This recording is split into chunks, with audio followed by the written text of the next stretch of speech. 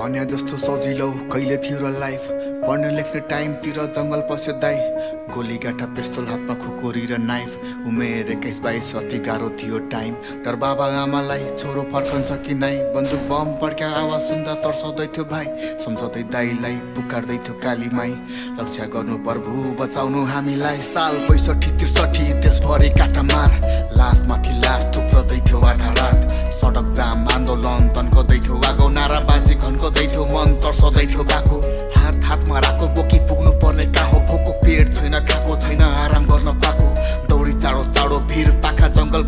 बाटो दुश्मन आइसक्यो पछि छिटो अघि आइजे जाठो खैको मर्यो सुन्दैछु चुच्याको पासोमा पर्यो क्या हो हामीले बिछ्याएको? न त पक्षमाथि हिंसाको? शिक्षाको कमीले कति देशका सपुत मरे न त मार्नु मेरो इच्छा थियो। थाहा थिएन मलाई लड्दैछु म के को लागि आफ्नै दाजुभाइलाई मारी मर्दैछु म के को लागि?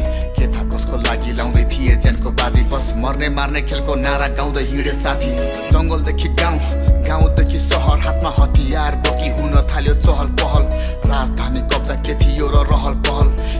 गरिदिएम राजा रानी बस्ने महल। शान्ति वार्ता भएपछि सकियो लडाई घरमा खुसीको माहौल दाइको घरतिर फर्काई।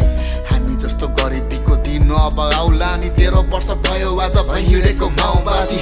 तर खोइ हाम्रो दिन अझै आएन। ठाउनै पर्यो विदेश ऋण माथि ऋण लाएर के पाएँ मान्छे मारेर? माफी दिनु प्रभु गल्ती गरेँ मैले गलत मान्छेको पछि लागेर। थाहा थिएन मलाई लड्दैछु म के को लागि आफ्नै दाजुभाइलाई मारी मर्दैछु म के को लागि। के थाहा कसको लागि लाउँदै थिए ज्यानको